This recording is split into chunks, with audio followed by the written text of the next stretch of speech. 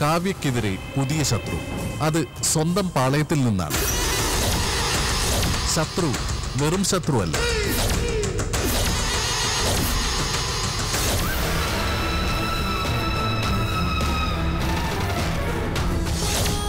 കസ്തൂരിമാൻ തിങ്കൾ മുതൽ ശനി വരെ രാത്രി എട്ട് മുപ്പതിന് ഏഷ്യാനെറ്റിലും പിന്നെ എപ്പോഴും ഹോട്ട്സ്റ്റാറിലും.